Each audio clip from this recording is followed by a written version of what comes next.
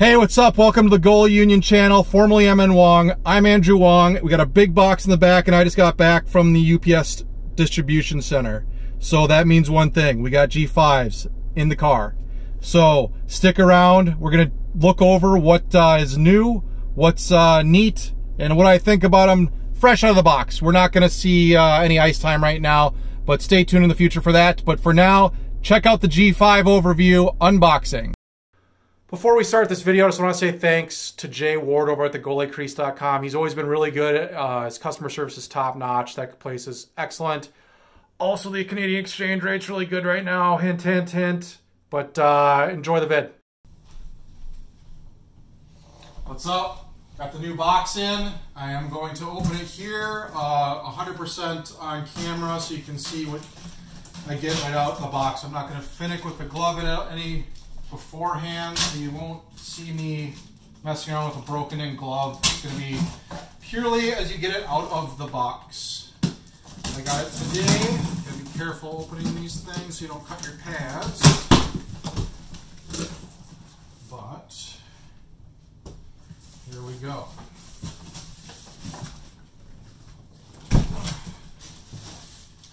Here's the blocker.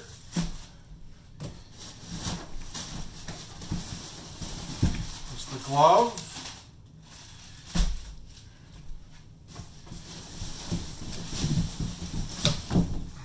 Here's the pads. So the difference on the pads right now is that I actually got them one inch shorter. I think I was landing too low on my old one, so I got them shorter. I also opted to get the stiffer thigh rises. So they're a little bit smaller, um, stiffer, so they should last longer. So I'm curious to see how these do.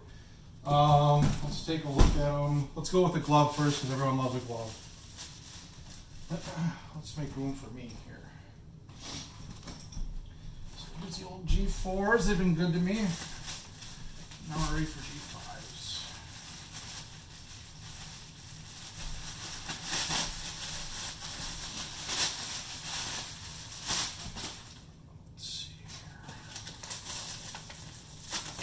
that up. I got a double T this time as well. That's a little bit different from the last time. But uh, yeah, let's stick our hand in there and see how it goes.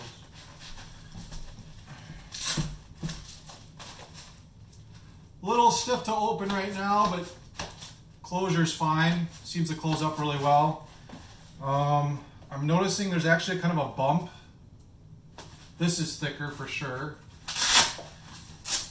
I'm not sure if they put something in here, but Okay. There's a bump right there that I think might help present it more forward. I'm not sure. Um, that's all I noticed with the glove right now. All right, so here's that bump I was talking about on the wrist. I believe this was also on the G4s, but it's also on the G5s now, or it's still on the G5s. So not a big change there, I don't think, and you can easily take it out. It's Velcro, like a lot of this stuff. So easy to replace, easy to customize, easy to swap out. Yeah, I, I, use the standard break. It feels really similar. Um, Size-wise, like that forward facing, I can kind of see a little bit of a difference, but I think that's more of a thing you'll notice subtle, subtly. Uh, I'm not too worried about that. Looks like it presents nice and wide. The double T is pretty tight in. It's not like a really wide spread there. So I don't think it's to make a huge difference. I don't know. I figured I've been using a single T for a while, and while I like it, I'd give a double T a shot. It's got a nice big deep pocket, so um, feels good. Nice and light, like always. And uh, it's well stitched together. No, I'm not seeing any like loose threads or anything. So I like the colors a lot. Um, I've kind of gone with a darker, more solid blocks of color this time instead of breaking it up so much. Um, yeah, I think it's kind of neat. And I still got a fair amount of yellow when it presents here, so I can kind of see the puck in the pocket. Not that you wouldn't know, but yeah, there's a sweet glove. Let's go into the blocker. Let's see here. Blocker feels maybe a little bit different actually this time. Oh, maybe not. Maybe not. It's been a while since I've played hockey, so now I'm not used to the stuff I have. Um, Feels pretty similar. This is a lot flatter. So I don't know if you can see that there. Look at the old curve there. And there's the new curve. So that's a big difference right off the bat. Um, I did notice at times pucks would kind of put themselves into spicy locations when I would uh, make a save. This will obviously deflect shots up higher off and into the, hopefully into the, the netting, if not at least into a less dangerous position uh, instead of shooting straight up too. So that feels pretty good. Yeah, I'm liking the uh, all the finger protection. I'm wondering if this is much different or not. Actually, I'm seeing another difference here. In the G4 palm, there's a lot more stitching. And in this one, there's a significant amount less. Maybe I'll show some pictures on the on the um, edit to show you what the difference is there. But there is definitely a difference in the palm and its construction, but I don't know that that's going to make a difference for um, durability or not. It's less stitches, so maybe that that's cheaper and maybe it's less uh, things to break or fail. So sweet, it's pretty good. Now let's look at the pads. So the pads, the big difference here this year is that they fixed the issue that happened um, along the knee landing. I've had a couple times where I've had to just basically what I do is I buy some heavy duty super glue and I glue it down. It actually does the trick. It shouldn't happen, obviously, and you know people have a right to be kind of upset about it, but super glue will actually keep keep this down, and you'll it'll buy you like four or five months on a heavy amount of skates where that won't be an issue. But obviously, it shouldn't happen, and they knew that, so they fixed it with this, I assume, uh, having there no, be no threads that touch the ice here. And there's also the notch in there. Um, these pads feel I don't know. I mean, like I haven't used them yet, and they just feel stiff right now, which I don't think is a bad thing. Um, yeah, they, I, I, ordered the Pro Stiff top, which is definitely stiff. Um, that might help me last a little bit longer as far as uh, durability goes. Maybe I can ride these out for a little bit for a little while longer, but that's like that stiffness. If I apply the same, it's not moving.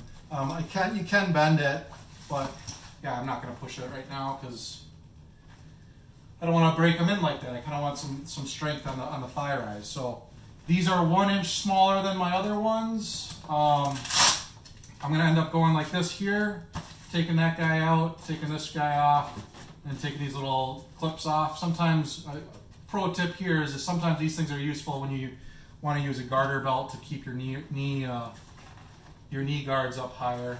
Um, I've been told that, I think I read that the toe strapping system's a little different. This definitely looks angled.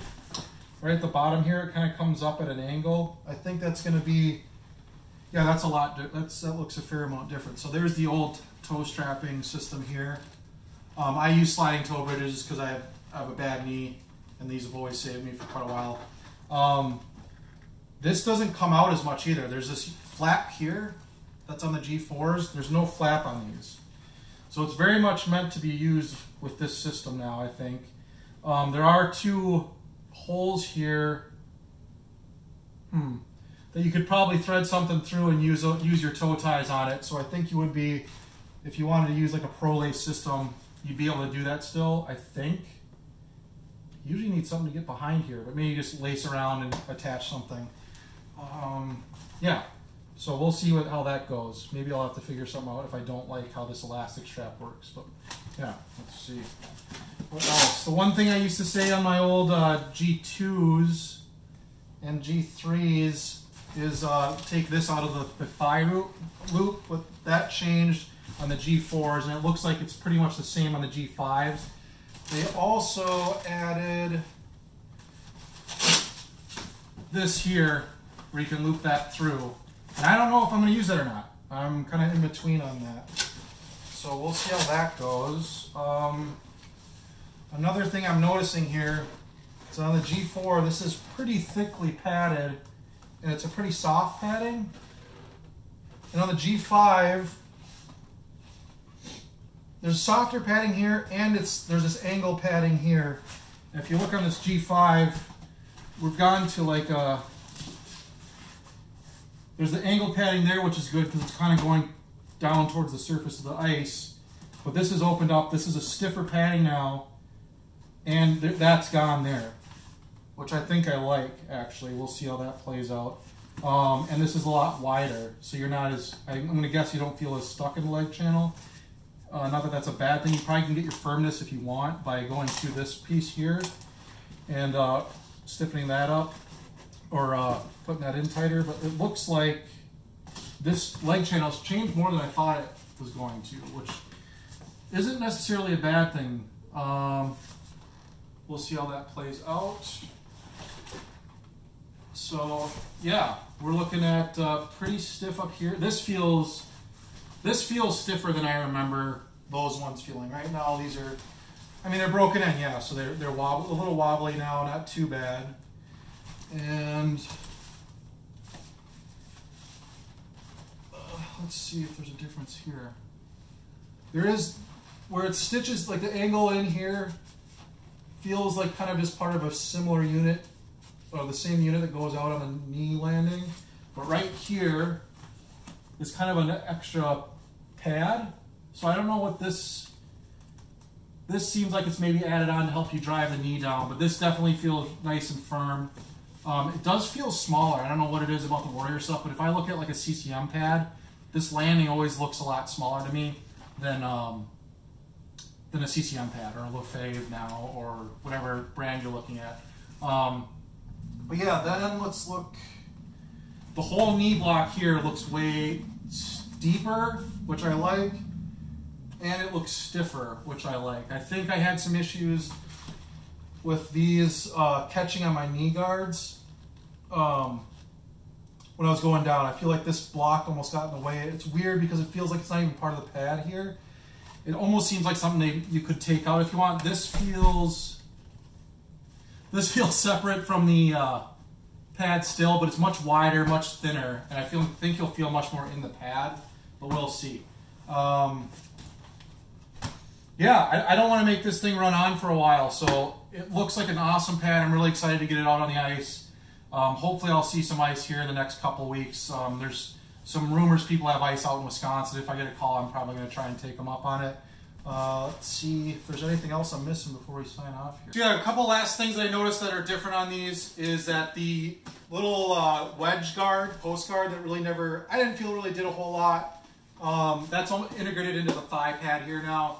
Um, that is just attached to this here. Um, these definitely feel stiffer, larger than they do on the G4s. I know there was a, um, they do thin out up towards the top. I think that was to keep you from letting pucks leak in through here when you're up in RVH, which I, don't think it's a high percentage, but cool. I mean, if it helps, it helps. Um, there's a big difference. I feel like there's a bigger difference between the G5 and 4 than there was between the 4 and 3. So I'm definitely going to need a, probably a couple few skates before I really have like a, a realistic impression of what these pads can do now or what the differences are. And then there's going to be an adjustment period because we've all been off the ice for quite a while. So um, yeah, I'm going to wrap up the video now just so it doesn't run on forever. Uh, like and subscribe. We're goalie union now please comment and ask questions if you have anything. If you got something negative to say, I, will take constructive criticism. If you got something positive to say, I'll have it too. So uh, hopefully everyone's doing well after all this lockdown. Hopefully we're not all crappy goalies now. So you have a good one. Take care.